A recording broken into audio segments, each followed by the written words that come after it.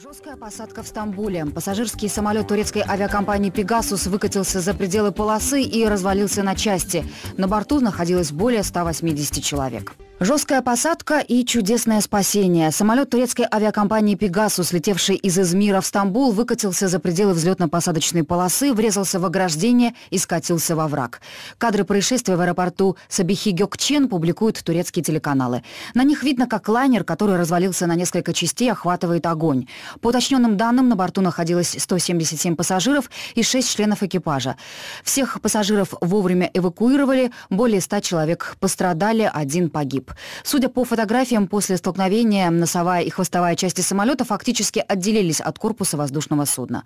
Почему это могло произойти и как удалось избежать жертв, комментирует заслуженный пилот России Юрий Сытник. Дело в том, что там одновременно работает три полосы в Стамбуле. Вот, и одна из них короткая полоса, там, ну, очень она короткая. Как-то я даже приходилось садиться там на 86-м, там еле-еле-еле я успел затормозить. Но если погода и полоса вдруг там скользковатая, или командир, допустим, допустил ошибку, на большой скорости зашел или промазал, то можно выскочить. И там как раз овраг, а дальше идет дорога и здание. Там уже скорость-то какая была? Ну, может, было там километров 50-60. Люди привязанные. Ну и что? Там, самолет стал разваливаться, люди в креслах-то остались, и все. Заканчивался пробег. Там, ну, не хватило, может быть, ему 50, там, каких-то 100 метров. Да, самолет спишут, да и все, экипаж выгонят. Юрий Сытник, президент фонда «Партнер гражданской авиации» Олег Смирнов, напротив, считает, что в Турции почти что случилось чудо, так как разрушение конструкции при посадке смертельно опасно.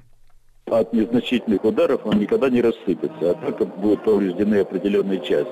Значит, это был сильный удар и на большой скорости.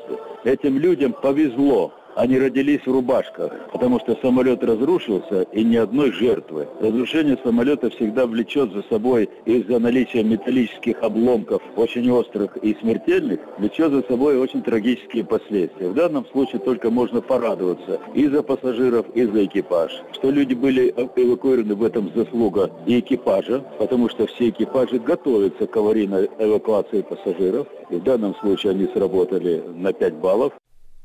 Олег Смирнов, э, в качестве основной причины произошедшего Минтранс в Турции называет сильный ветер при заходе на посадку. Прокуратура Стамбула уже начала расследование случившегося.